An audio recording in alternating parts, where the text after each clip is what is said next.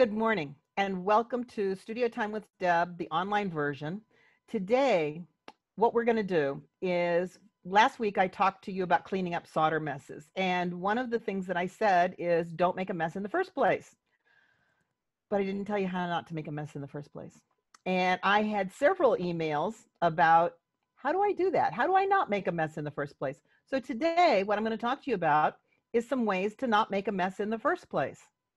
So hopefully you won't even need last week's class because this will all be better. Okay. So the very first trick, the very first thing is that before you solder anything, what you need to do is to clean the pieces thoroughly. And I don't mean clean them like get the dirt off. I mean clean them like get the scratches out. I'm not nearly as worried about the dirt. Honestly, when you solder, you can solder with a little bit of dirt on things. I mean, I, I we lie to you when you're beginners. Um, they don't have to be pristine. Your finger oil does not make any difference. Um, but what does make a difference is if you've got scratches in there, if your surface is not really, really what you want it to be, to clean that up later is a big deal. It's a very big deal, and you'll spend a lot of time cleaning it up. That's much easier to do when the pieces are separated. So the number one trick is to make sure that your piece is free of scratches, make sure that it's got the finish that you want, make sure that that's it's in good shape. So number two is that I'm not to use too much solder. Don't use too much solder. But what I want to do before I tell you more tricks is I want to back up a little bit and I want to remind you because most of you are intermediate advanced students and you haven't heard the beginning solder lecture in a long time. So what I want to do, I'm not going to do the whole lecture, but I'm going to give you a key point. And one of the key points of soldering, jeweler silver soldering, is that both pieces, both of the pieces we're trying to join must be to the flow point of the solder at the same time in order for them to join. And that is critical. And when you understand that, you can control the heat a lot. You can control where the heat goes. You can control what's happening with the pieces and I'm going to show you a slideshow later that has some um, some different situations in it. And I'm going to talk to you about heat and where you put the heat and how that works.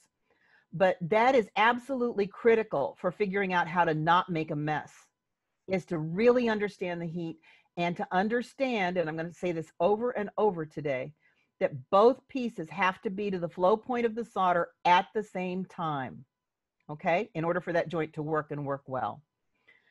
So what determines if solder flows and where it flows? Number one is heat. That is absolutely the number one thing. That is above dirt. That is above um, gravity. That is above just about anything is heat. Number two, though, is capillary action. And what that means is that the solder is going to tend to flow and want to flow where pieces are touching each other. And we can use that to our advantage, and especially if we have control of the heat. So capillary action is a really important part of what we're talking about with all this and how we prevent making a mess. So again, number one, don't use too much solder. I'd rather use solder three or four times and not enough solder than to solder once with too much. You solder once with too much, you absolutely have to clean up your mess. Um, so if you can just minimize the solder, that's good. Now you can pull it through a draw plate and make it small. I know that um, um, was it, Fire Mountain is selling 24 gauge wire solder. And I think Rio has thinner wire solder now. And you pay a premium for it being thinner. If you have a draw plate, you can draw it through yourself. Um, but the thinner solder will help you cut it into tinier pieces. You can also take your wire solder, roll it through the rolling mill, flatten it, and then cut it into little pieces um, so that you cut the you cut the strip long ways and then cut cut off little chunks, cut off little pallions. You can also buy a chip solder because each one millimeter chip is just a tiny, tiny bit of solder. So if you're doing something that's really delicate, that's a good way to go to not use too much solder. Number two thing that you can do that's really important is that you can pre-flow solder into a defined area. So usually what we do, not always, but usually you'll flow solder onto the smaller of two pieces being joined. And the reason we use the smaller piece is because if you flow it on the larger piece, it can go all over the place. You put the small piece on and then you've still got solder all over the place, right? But if you put it on the small piece and you put it down, then it pretty much is just under the small piece. So then you've got it. So that's why we usually do the smaller piece. I'm going to show you some samples today where we don't do the smaller piece, and I'll explain why. Um, but it allows, so one of the things that happens when you pre-flow the solder on the small piece is that it allows you to clean up that piece ahead of time. So in other words, if I have two pieces of metal, a small piece and a large piece I'm trying to join together, and I pre-flow the solder on the small one, but let's say it goes down the side and, and makes a mess. I haven't joined those pieces together yet. There's no reason that I can't take that small piece, take it back to my bench. I know, I know, it's okay. Take it back to my bench, clean it up, clean off the extra solder so that I just have solder where they're going to touch. I don't want solder anywhere else. I only want it where they're going to touch. I'll clean off all the excess solder and then I'll proceed with the solder joint. And then I only have solder where I really want it, where I really want it to flow. So it allows me to clean that up without doing damage to the other pieces or to the small one. I can get to it a lot easier and it's a lot faster than trying to do it after they're joined together. Pre-flowing the solder also does another thing. What it does is that every time the solder flows, and I know you guys have heard this before, but every time the solder flows, it burns off a little bit of the trace metals and it raises the flow point by about 25 degrees Fahrenheit. What that buys me is that that makes that solder joint a little bit higher temp than the equivalent other solder joints. So in other words, if this is my first solder joint and I am putting it together. Oh, let's say it's not my first. Let's say I've built a bezel, okay? And I used all hard solder on my bezel. And I want to solder my bezel to something.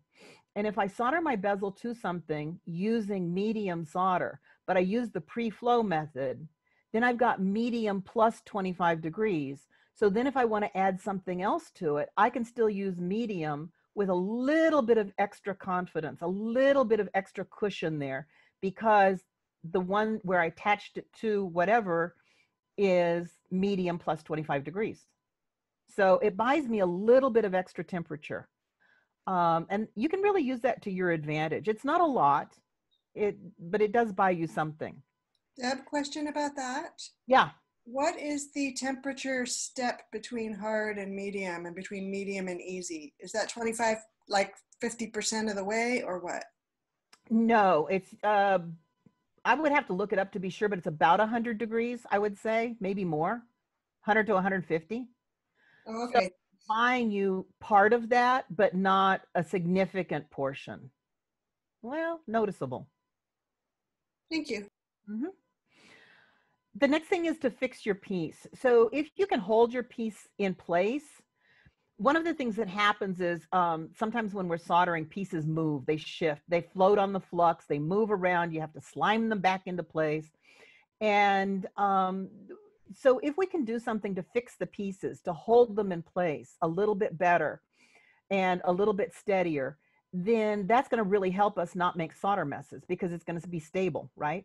And I'm going to show you some methods for that. But some of the things we can use, we can use cotter pins, we can use third hands, we can use a tripod.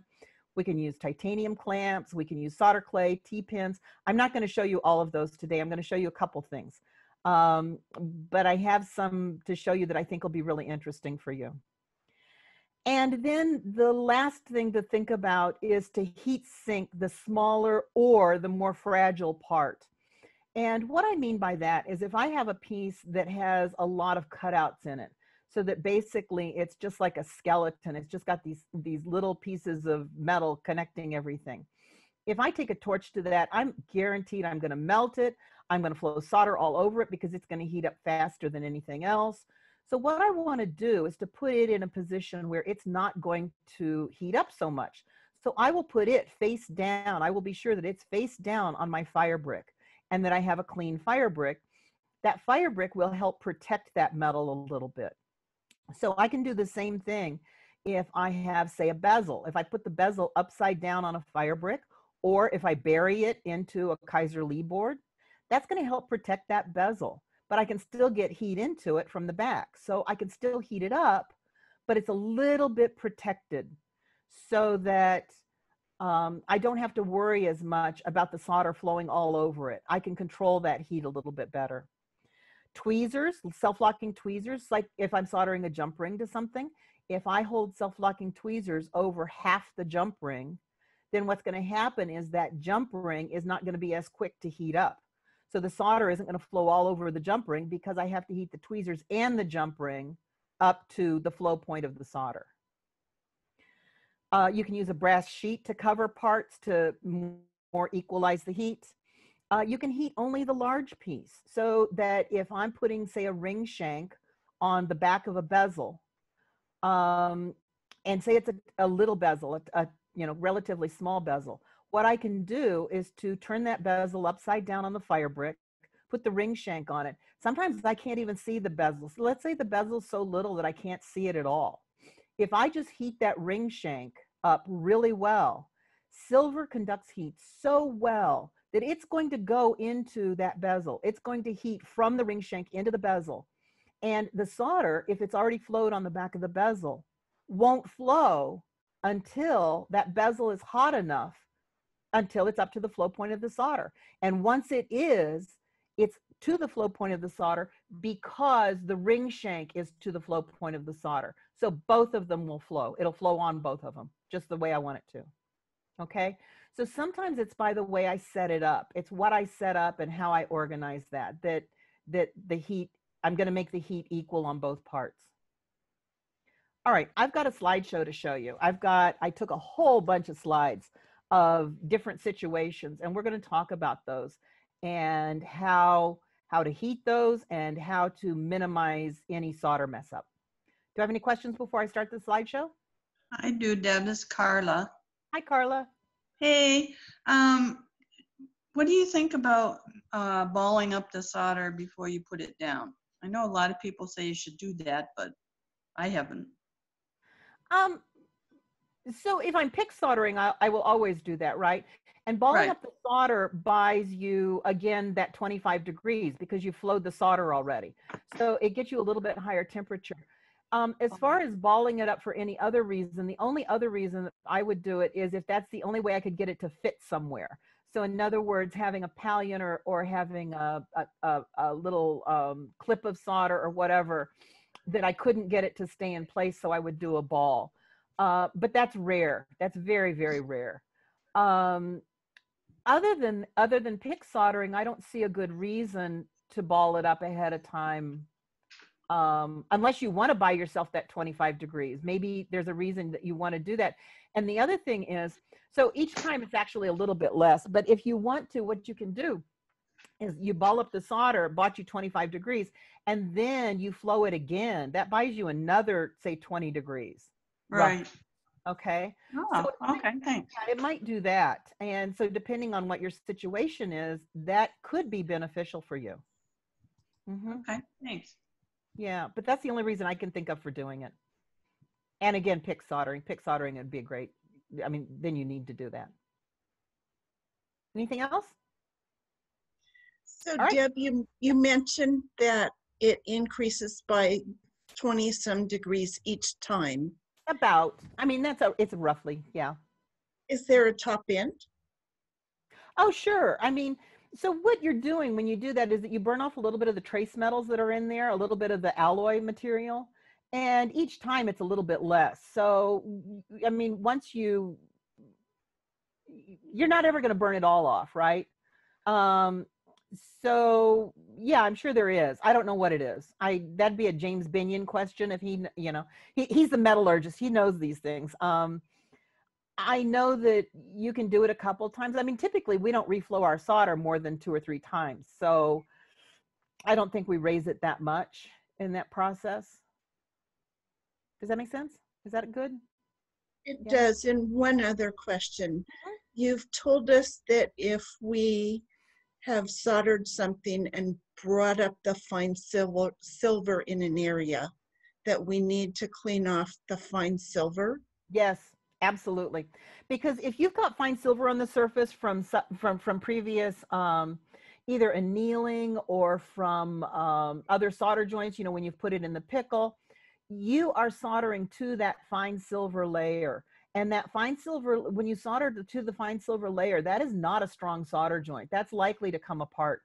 So what you need to do is any place that you want a good solder joint, you do need to sand down or get down to that silver layer where you're down to the sterling or whatever your base metal is. Okay? And don't solder to the fine silver. So what if we put too little solder, for example, under a bezel, and it only solders part way? Do we just disregard that rule of trying to clean out the fine silver before Yes. we? Yep. Yep. And the other thing is you got to think about the strength of the joint. So if I'm putting on, say, an earring back, an earring post on something and on an earring and um and I've got fine silver on that earring already and I solder the post on, I have a tiny, tiny, tiny joint. And so that's going to be a really weak joint. But if I'm doing something that's a sweat joint, say I've got a bezel that's got a whole back on it and I'm soldering that back onto something, that's a huge solder joint.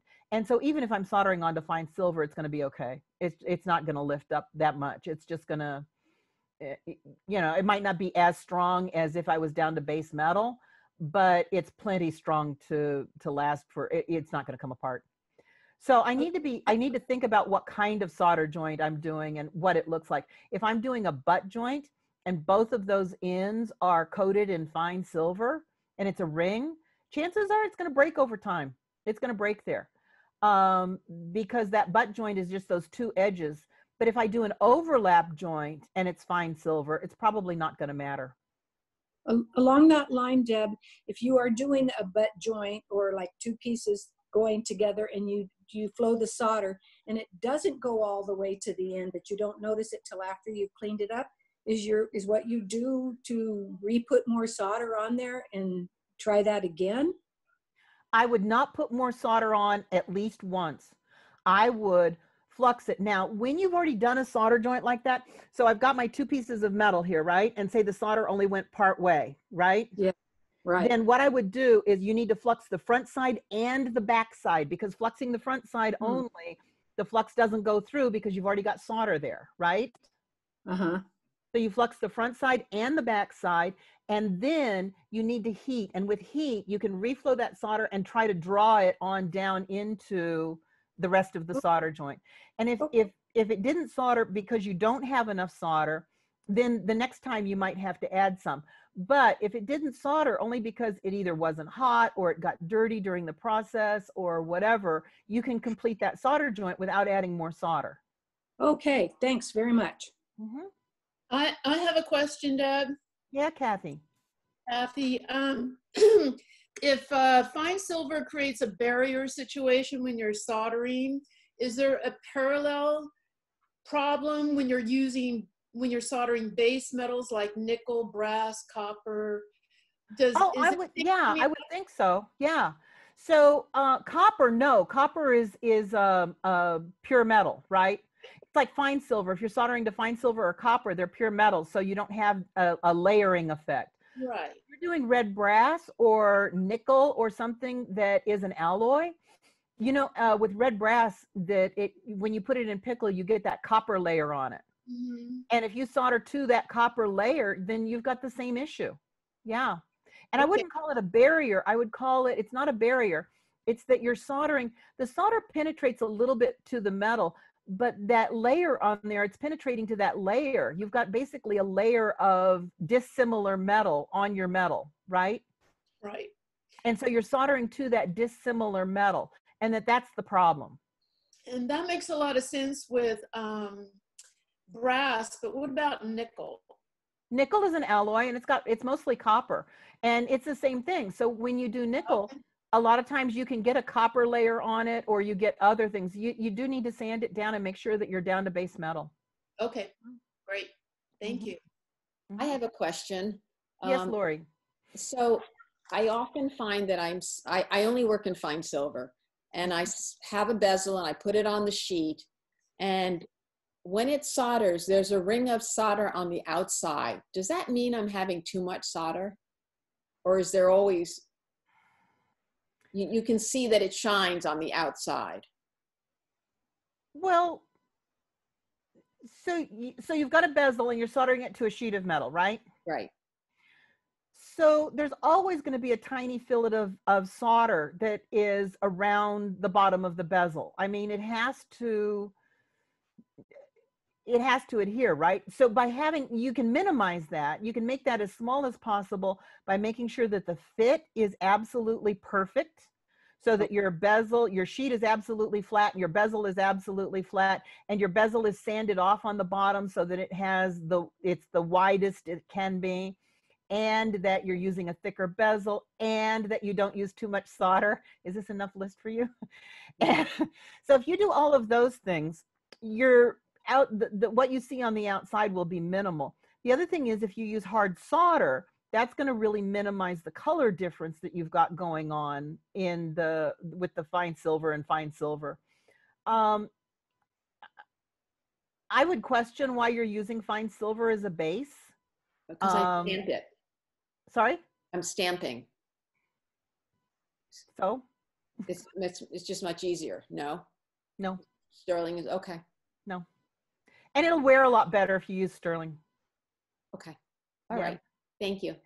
hmm But um, but as far as minimizing the solder, the the visual of the solder, use less solder. Make sure the fit is absolutely perfect. Use a wider bezel and sand the bottom of the bezel before you put it on there, so that you have there's more of an area of attachment, and the solder with capillary action can fill that rather than making a fillet on the bottom of the bezel. Okay, thank you. Okay. Mm. hmm Anybody else? All right, we're going to start the slideshow.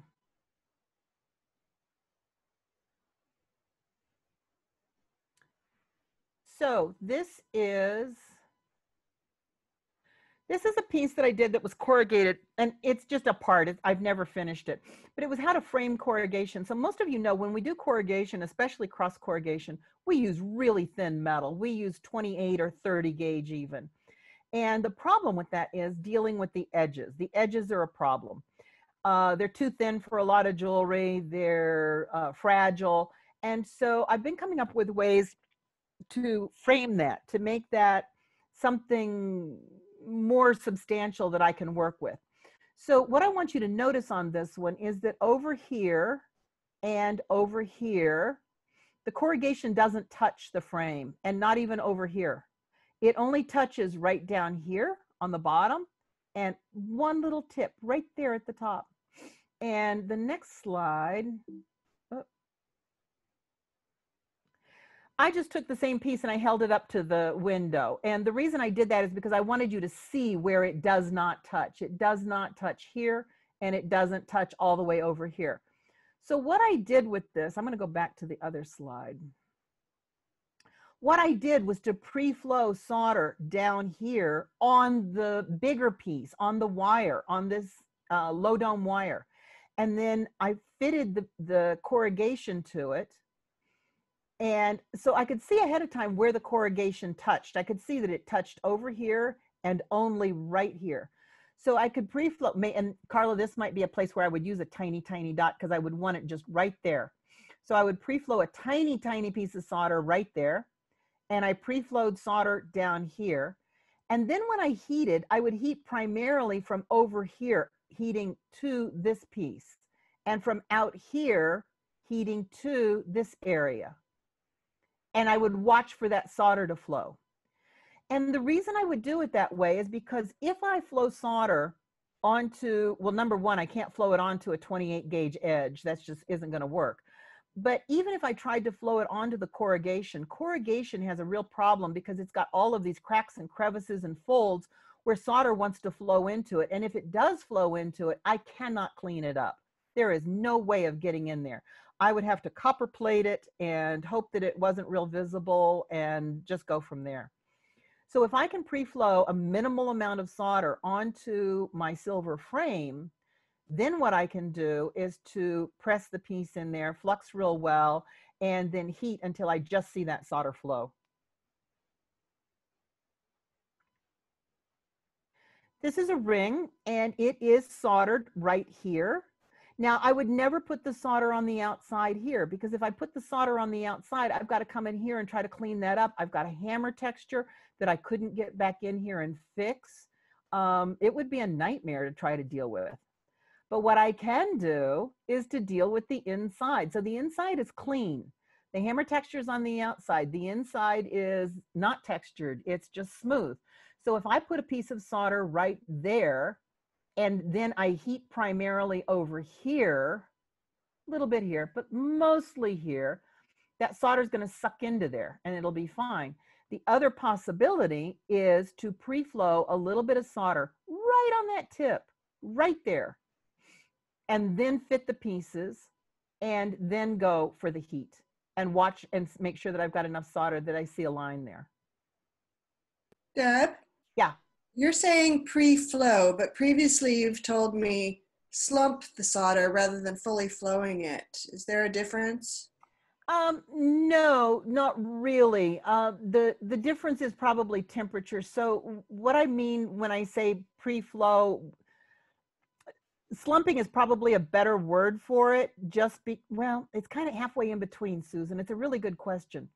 So when I slump solder, you'll you'll notice when you heat solder a lot of times what happens is that the solder it gets up to temperature and then it kind of slumps and it sits there for a minute and then it flows flows, right? So most of the time we, when we're doing this pre-flowing stuff, we don't want it to flow all the way, although that's not universally true, but a lot of times that's true. The problem with slumping on something like this is that if I use the slumped solder and I put them together, they don't touch then when the solder flows. So what I have to do is to get in there with a pair of tweezers or something and squeeze them together once the solder flows. So it's a little tricky. I can I can pre-flow the solder. What I would do on this one, and I'm going to show this even more later. What I would do on this one is I would put the ring together the way I want it. I would take a scribe and I would scribe a really deep line right there. Okay, right across this piece, right there. And then when I pre-flow that solder, unless I use way too much solder, the solder is not likely to go over that line. Uh, scribed line is a great way to contain solder. So I can pre-flow the solder there. I can make it be relatively little amount of solder. I can put the ring together so that it has tension on it, so that it's pulling together really tight. And then when I heat, the solder will flow and, and it'll just go together. Thank you. You're welcome. This is another ring. So this one is a, this is one of the thumbprint rings. This is concave right here. And you can see this is from the back of it. So you can see that the back is textured. And if I get solder on the back of that, there is no chance of me cleaning that up and making it look decent. It's always gonna look like a mess. So what I'm going to do is to pre-flow the solder. In this case, I would probably pre-flow it onto this band but I also could choose to pre-flow it onto this part. Um, and I'll show you that later in the slides. But what I would probably do is pre-flow it onto the band and just a small amount of solder. I would touch it down and then I would heat primarily this area, although some up the band also until I see solder flow right there. This is another one. This was a large, really large bezel, but look at the back of it. Again, I cannot clean this up right? If I make a mess with this, I have a mess. So what I wanna do is to pre-flow the solder onto the band. I can be a little bit more generous with this because the back is so heavily textured that it can take a little bit more solder than a clean sheet could. But uh, I still need to be careful about how much I use because I do not want the solder seeping into other areas. And then when I heat, I'm going to heat primarily the bezel. I'm going to be watching underneath to see that the the solder does flow. And once it flows, I'm I'm good. This is another one, and this one is a little bit different. This is one of those series. This one is just this soldered on. And again, I cannot clean this up. Okay, so what I would do is to flow my solder on the end of this post prior to setting this up I would set it up and then I would heat primarily the bezel until I see that solder flow. This is an interesting piece. So these are three pieces I had left over from something else I was making. And um, what I, I soldered them together because I really loved the way they interacted. I thought they were really beautiful. And um, then I decided they were going to be a ring. Well, they only touch in a couple places, this ring. They only touch like right here, not the whole way. They touch right here and it touches way over here, and that is it. So on this one, you can see right here, just a little bit of solder. So what I would do on one like this is that I would pre-flow the solder underneath the copper right here, just a little, little bit of solder. And I would solder this side down. Then what I would do is to lift up this copper. I would lift the copper up and I would see where it touches the ring. Well, first of all, I'd look and see where it touches the ring here on the other side. And then I would lift it up. I would pre-flow a little bit of solder there and push it back down and then heat it up. So I'm doing this in two separate stages so that I can see exactly where it touches. And that is often, back to the first one, how I do the corrugation, is that I will take whatever is the most secure or the most, um, the firmest point where it touches, and I will put a little bit of solder there and solder it, and then I will move the corrugation out of the way because I can see exactly where it touches on the rest of it. So this one shows it again. There's a solder across here and there's solder actually down in here. But that's it. There's no solder here and there's no solder on the rest of this. It just is tacked right here and right here and that's all. Yeah, would you heat the ring part or the copper to solder it? I would heat the ring and for two reasons. I would put, that's a good question, Kathy. I would put this copper stuff, I, so I don't want to reflow my copper, right? I don't want that to change. So what I would do is to try to bury it a little bit down in the fire brick and I would put it copper side down. I might even put a piece of brass over the two ends so that they don't come undone. They don't, they don't get heated up as much. Uh, you would use the brass as a heat sink. And then I would heat the interior of the ring with maybe just slopping over a little bit on the copper, but mostly the interior of the ring until I see that solder flow. So this is a piece I'm, I have not made yet and it's in process. The uh, wire, the silver wire that you see there is uh, not finished at all. It's just, I just, I curved it, but it's completely unfinished.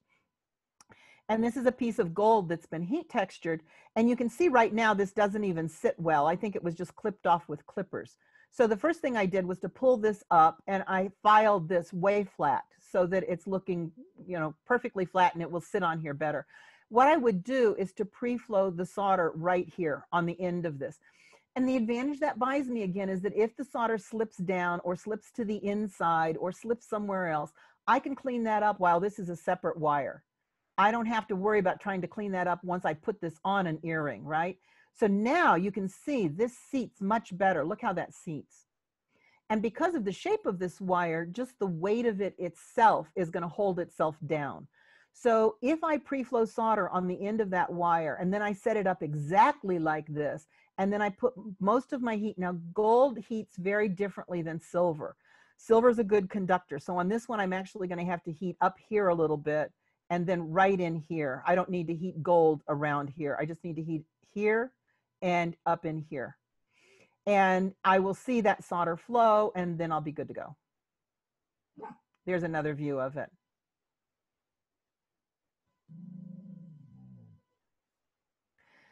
This is a ring, uh, well, potential ring. This isn't a ring yet, but it's a potential ring that I did for the scoring and bending class way back when. And I did the scoring and bending, but I never soldered it. This one has kind of a big gap in it. And, um, but that's how it fits my finger. So I'm, I may leave a big gap there. We'll see. But what I want to point out to you is that I would not put the solder on the inside right here, and I would not put the solder on the inside right here. Where I would put the solder is way up here. And I don't want it over here where it's not the joint, but I want it way up here and way over here. And the reason I want that is because I can clean off those areas. So one of the things that you need to think about when you're doing solder placement is how am I going to get to this when it doesn't go where I want it to go? So if I put the solder in here and it goes all up and down the inside of this, that is a booger to get to. And I spend a lot of time getting to that inside something, right? But if it's here on the outside, that is much easier for me to deal with and get to. So I need to think about where I'm putting that. Here's a better view of it. If this is too big, by the way, one of the things I can do is uh, to close it down a little bit more, solder it shut, and then open it back up after it's soldered because silver, silver's, I can stretch that. I can bend it a little bit.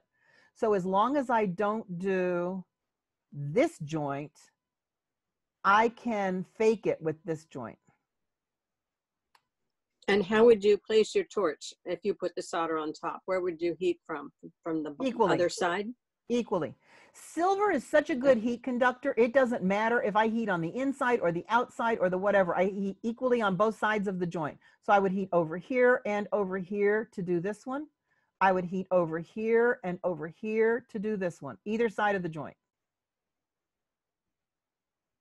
So Deb, you would put this on the outside and then you would just draw it in? Not on the outside so much, right here on this corner. If it's on the outside over here, Diane, I'm not in the solder joint, right? Because this is a scoring and bending, so the joint only goes to the middle, uh, well, a little past. Just that, just that little corner. Right and then you draw there. In. Yeah, and right there. And capillary action will take over. Remember, that's the second thing. Heat is one, capillary action is two. So as long as I can use the appropriate amount of solder, capillary action is going to suck that right into that joint. So this is a heat textured ring. And for heat textured rings, when I make them, I want to be sure they're soldered in two places. I want to be sure this end is tacked down and I want to be sure this end is tacked down. I don't want either end to be where they can kind of flop around. So what I'm going to do with this is that I would look at this very carefully to see where it's uh, attached, where, where it touches, where these two touch. And where these two touch is where I'm going to place my solder. So there's a roll right here and there's a roll right here. And I, I think I have another slide of this. But if I look at these two, I think it only touches right in here and right in here. Now, because this piece is not going to be very visible from anywhere else except this part that hangs over, I could also scribe a line on the inside here and just flow my solder here to here, right? And then wherever it touches, it touches. Let me go on with the slides. Yes, you can see this a little bit better. So on this one, this is, this is where that front part came over. I really only want my solder, it's gonna be on this piece on the outside. It's gonna be here and it's gonna be way over in here on that outside piece. This one, I'm gonna, I, I don't want it solder over in here or over in here. I want solder right in here on that top side. So I'm gonna watch where I want it, flow the appropriate amount there. Now you can see it a little bit better again. So right here, I want it. I want some right here and I want some on the inside right there. So I'm gonna pre-flow that. And then what I would do is I usually use self-locking tweezers right here to clamp it together, to hold it together. And um, then if I hold it together and I flux it real well and I heat it, I can usually watch that solder flow. This is the next one I'm going to show you. So this is a dome right here. This is a, a dome of metal domed out. And I'm going to put it on top of this ring. So this is a big, thick um, band. And what I did is to just take a very small area and file it flat right here. And you don't have to do that at all. Sometimes it makes it easier to contain the solder if you've got a little bit of a flat area or a little bit of area that's different. I can kind of see where I want the solder to be. And the solder is not as likely to jump that little, little ledge. Um, not that it can't, it certainly will, but, but it's not as likely to. So I wanted to show you this slide. See how slight that, that is? When I solder this onto this ring, that's not even gonna be visible that I flattened it at all. It's gonna be pretty much invisible. One thing I do want to show you is, see how this ring right now, I have sanded the side of it, but I have not finished it. I should not solder this band on until that is completely finished and polished and done. And the same with the inside. This is not a finished piece. I did this as a fast sample to show you uh, a solder setup, but that's it. It, there's, it, it is by no means ready to solder at this point. This is a third hand. Most of you have third hand, some variation of this in your studio. I have a love-hate relationship with my third hand. Um, I they they're great for some things and they cause a lot of problems for other things. So this is a, an actual, and this is a little bit um, blurry, and I apologize. Uh, I ran out of time shooting slides, but this is I set this up in the third hand just the way it ought to be set up for a solder joint, and it looks absolutely perfect, and everything is great until you look at the side. I want you to look at this. Look. It's not touching. And that is one of the big problems with third hands is that it is really easy to think that you have something touching and there's a little bit of spring back and it doesn't touch. Here's a better slide of it. So when I got my camera down really low, and this was exactly the same setup, I didn't change anything. All I did was to set it up I looked at it from the top and then I looked at it from the side. And when I looked at it from the side, it was not touching. Furthermore, on this one, you can see, see the flat? The flat is also not where I thought it was. It's not flat against the dome. It's a little off. So that's one of the problems I have with third hands is that it, sometimes it's really difficult to tell if something is touching, and remember capillary action is important. If I have solder pre-flowed on this piece, and then I'm going to heat this up, there's no way it's flowing on that one. It's not touching it. So a better answer is this is one variation of it, but it's a tripod. So it's it's basically something with two legs here and a leg there. Let me show you. This is another tripod. This is one that I built out of nails. Uh, these are the big, um, I forget what kind of nails they're called, but the great big nails. And I only used them because they were the first ones I found in my studio. You can use any nails. I recommend something three to four inches long. I recommend, and you do not use galvanized nails. You want um, just plain old mild steel, plain old nails. And pretty hefty, pretty big nails. Um, and then I just used hard jeweler's silver solder. Lots of flux, hard solder, solder those boogers together. That is the crappiest solder joint I have done in decades. Uh, but I tried to break it apart and I couldn't, so it was good enough. This is a third one that I made for those of you who don't have a torch big enough to do the solder joint on nails. And what I did was to take a piece of steel and I just bent it and then where the legs overlap, I just took copper wire and bound it together. So next I'm going to show you how I use the tripod. This is the end of the tripod holding that ring down. So what I did is that I can see exactly where that flat is. I can put that ring down the way I want it. And then just by resting the end of this on there, I think I have another one. Uh, no, maybe in a bit. By resting this on here, it pushes down on that. This way, even if, like Susan asked earlier about slumping the solder, so even if the solder is slumped on there and it's kind of big, then when the solder flows, it'll push everything down. This is a variation of that using a um, self-locking tweezers. This is a little tripod. You can actually use ones that um, I think you can get them for kilns, for enameling and stuff. And if you rest your tweezers on there, they pivot. And so when you put something in there, as long as this weighs more than the tail end, then it puts pressure on that and it'll stay down. You don't need the notches in the tweezers. You can just rest them on there. It works just fine.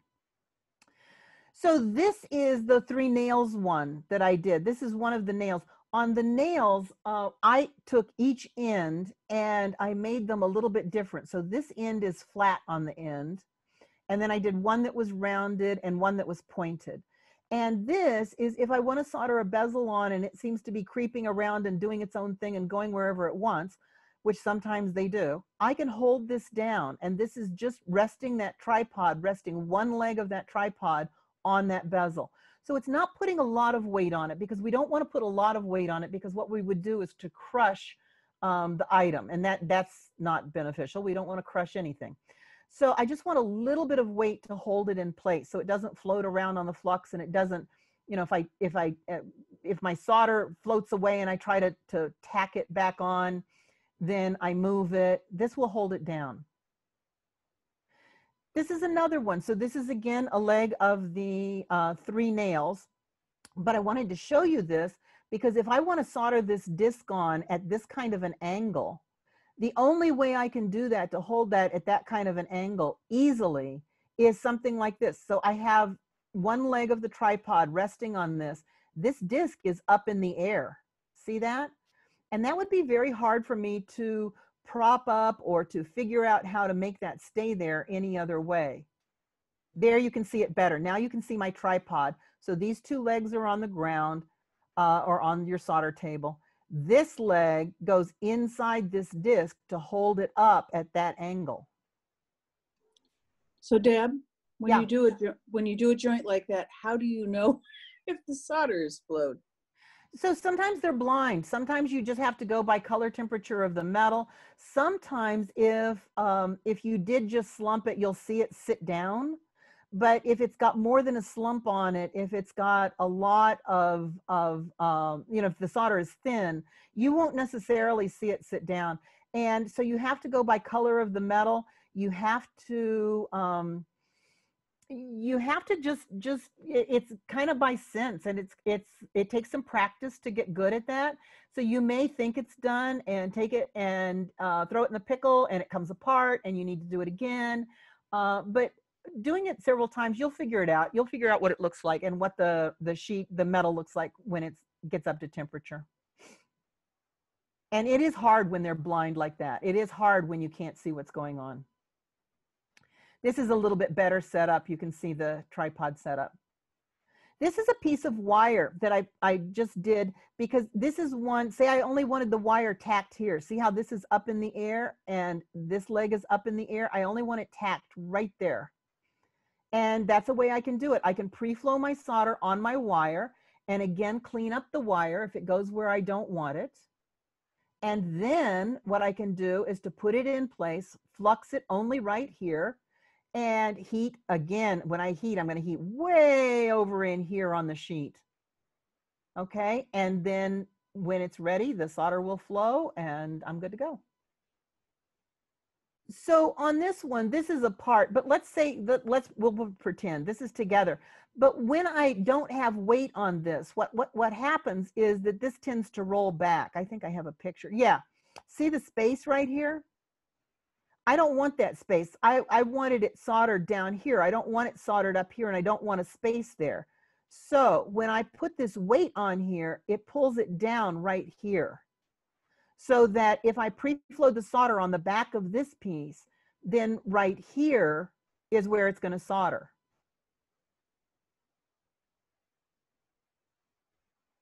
This is just using the other one, the one with the loop on it. So you don't need a lot of weight on these and we don't want a lot of weight. A lot of weight will will make it crush and that's not going to work.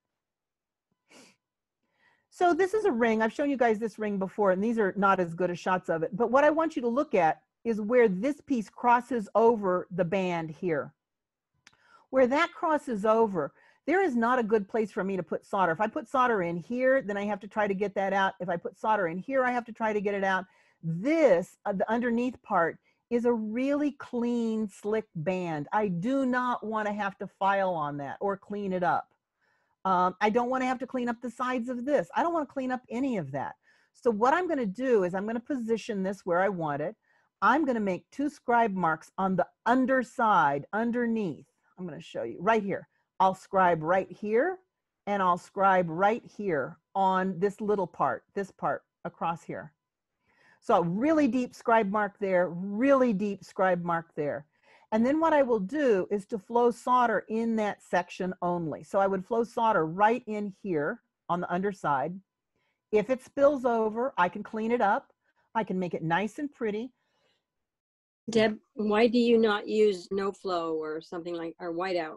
It's easier to do this. It's easier and faster and I don't have to clean it up. Um, so yellow ochre and whiteout and all of those kinds of things, if you get them overheated, you can actually make solder flow on top of them. You can make a real mess.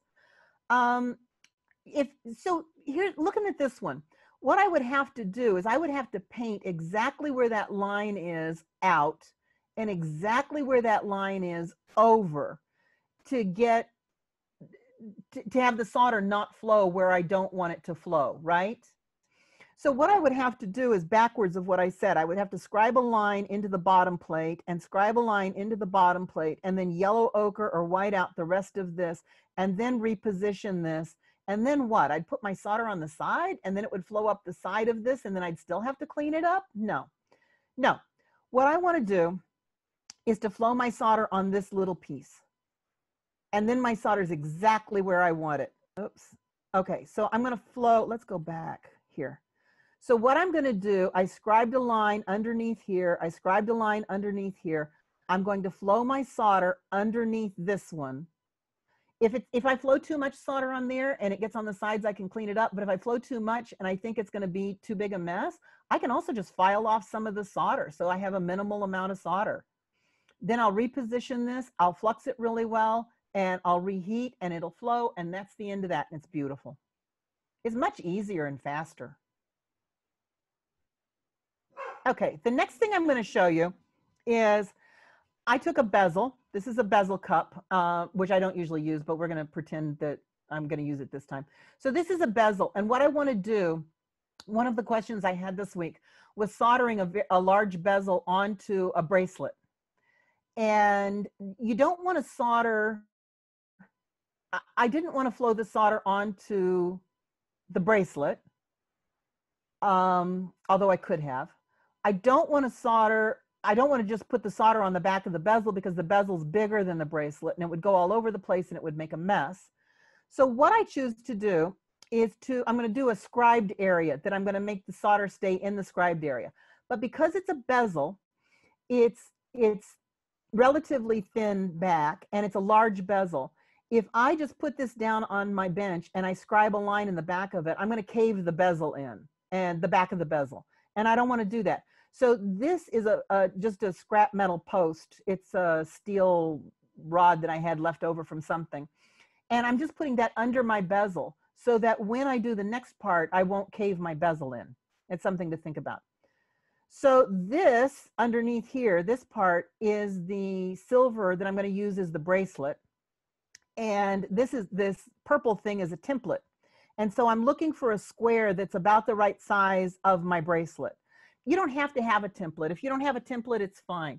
You can just scribe by hand. You don't, it doesn't have to be that accurate. It has to be close. I happen to have a template. It was handy. I grabbed it. That's what I used. So then what I did is this is looking down on it. And what I did is while it was on, while the bezel was on the post, I scribed a square really deep. I want a really deep square there. Then what I'm going to do is I'm going to pre-flow solder inside this square. That scribed line will help the solder stay exactly where I want it to be. And unless I get way too much solder, it won't flow over that line. It'll tend to stay right in there. So now what I have is this scribed line. This is my bracelet part. When I flow the solder on here, then I can put the bracelet on now, this one isn't bent yet. This is just trying it out. But um, I can bend it. I'll put it on in place and then it will um, solder just in that area. This is another one that I want to show you. So it's using the same um, kind of idea in the same square, but this is a piece of corrugation. Now I told you that usually what we do is to flow solder on the back of the smaller piece.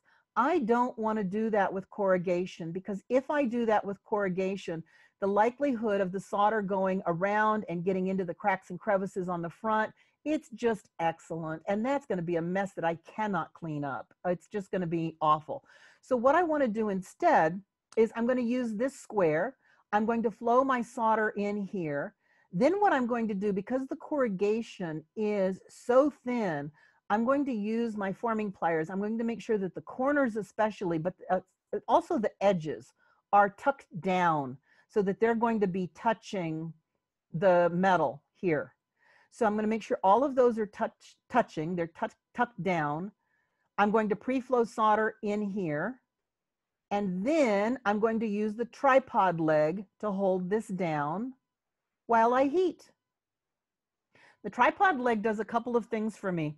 It holds it in place, which in the middle of a sheet like that can often be really difficult. You know, it can float around and turn and do its own thing.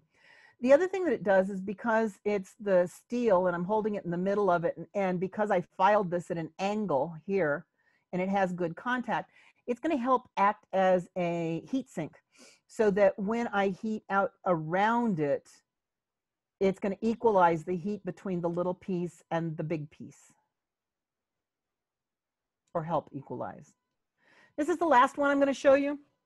This is a part for a brooch that I did a long time ago, but the corrugated, or the corrugated, the uh, roller printed piece here, I don't want to get solder on that, but I want to put this edge on it. So number one is I need to make sure it fits really well. And then I'm using cotter pins to hold it in place. But the trick to making this work is, look, there's a ledge out here. Can you see that all the way along, there's a ledge that sticks out? That ledge all the way along is going to get cut off um, or filed off. So what I'm going to do when I put my solder here is I'm going to put my solder out here or I'm going to put it underneath this wire, underneath meaning that I pre-flow it onto the wire.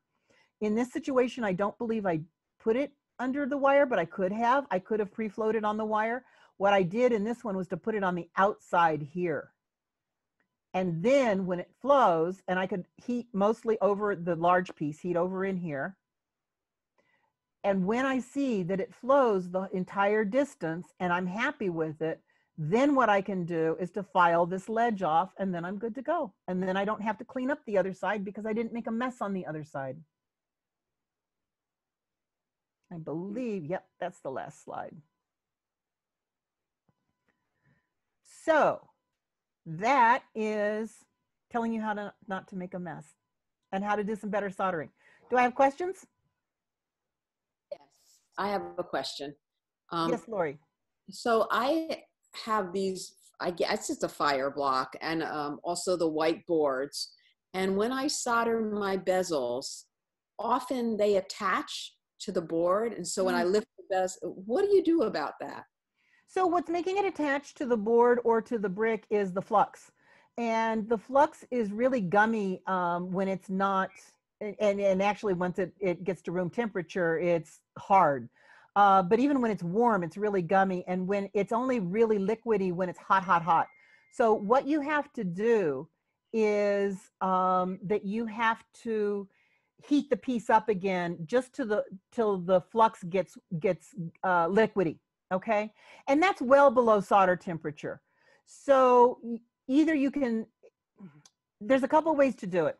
When you're soldering a bezel shut the one thing you can do is that as soon as that solder solidifies you can go in there and pick it up okay? Because the flux is still is still liquidy at that point. The other thing you can do is let it solidify and uh, then go back in with a torch and heat it up very gently. Now I know with a bezel, you want it's very you don't have a lot of metal there, and you can't dump a lot of heat into it. So what you want to do is just heat a little, little bit, and and you can be pulling on it, and the flux will give up, and then it'll lift off. Um, you can also use a cleaner fire brick or whatnot. You can clean fire bricks by rubbing them together over a trash can. You want to wear a dust mask because you don't want to breathe that um the whiteboards are the, the the those you can't clean so easily um and uh, you know they just do get flux on them so when when you go to pick it up don't just pick it up uh heat it up a little bit and then pick it up and then it'll it'll lift up Okay, thank you. Mm -hmm. anybody else somebody Hey. else had a question Dad, yeah Deb? mm-hmm. me? yeah wendy Oh, I just thought I would throw the tip in that I saw from Metalsmith Society for a third hand or for a, like a tripod was the metal binder clips onto self-locking tweezers on the end. oh And they that's a great idea yeah Amazing, cheap, available. You don't have to solder anything together and it really works well. That's a great idea. Yeah, just the um like these guys. Yep. and they come in all sizes. Yep, you don't want to get this one because it's plastic coated, but Right. get one that's not plastic coated. Really, really worked well. Yeah, and put that on the end of the tweezers. The other thing is a magnet on the end of the self-locking tweezers. Also works really well and uh, lets the tweezers kind of float a little so it holds it down. That works really well. Yep. Yeah. Deb, Yeah, that's a great idea. Thanks, Wendy. Yeah. Deb, when you when you had that ring that had the check mark on it and you did the scribed lines, so when the when the one piece came up over the top, underneath you you scribed uh, a line on the top and on the bottom, and then you filled underneath that section. Yeah. Okay, and so and so you scribed the line so that the solder didn't go past the scribed line, right? Partly it doesn't go past, but partly I also know where to flow, flow the solder because, you know, when you have a piece together and you see how you want it, and then you open it back up, you're going, hmm, where was that? How did that fit on there? You know? So it gives me um, a visual indicator as well as giving me a physical barrier for the solder not to cross. Okay. It does both. Any other questions? I have a quick one. Yes, Susan. Your cotter pins are always real shiny and new in all your pictures. Do you use fresh ones every time, or is it okay No. to use old cruddy ones? No, I use stainless steel cotter pins and they hold up really, really well. And I reuse them and reuse them and reuse them and reuse them until they just are dead. If you use the not stainless ones, the problem with them is they're often galvanized, which is really wicked. They're, they're zinc coated and, and you don't want to burn that off. That's really bad for you. Um, but the other thing is that you use them once and then they're annealed and then they don't hold and then they're just junk. Um, so I use the stainless ones. They're a little bit more expensive to buy, but man, they hold up really well. I have a question. Yes, Patty. Is a scribe? I don't have a scribe. I don't have that. Oh, you do. You've got to have a scribe. What is a scribe? What does it look like? Hang on. I'll show you a scribe.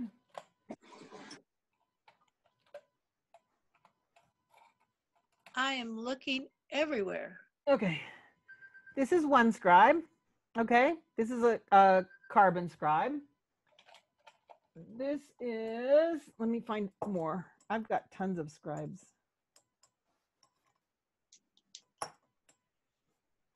This is a scribe. It's a little pointy tool. Scribes are little pointy tools. I don't have one. Can't believe it. Of all the things here, I don't have one. Okay, Patty. Okay. Next time you stop by, Okay. next time you stop by, I've got scribes. Okay. okay. Uh, and there's all kinds of scribes. There's, um, you know, I, uh, I have the twisted ones. I don't have one right here. I don't think. I don't see one. So, um, but there's all kinds of different scribes that you can get and have, and uh, you just need something that'll that'll make a mark into Uh. metal. All right. All Can right. you not also just like sharpen a nail and use that in a pinch? You in a pinch, yeah, uh, it'll dull in no time at all. I mean, a nice scribe is is great and worth it, but in a pinch, absolutely, yeah, it'll work. yeah. Mm-hmm. Anybody else? Okay. I want to thank you for joining me today for this edition of Studio Time with Deb online, and I hope to see you next week. Bye.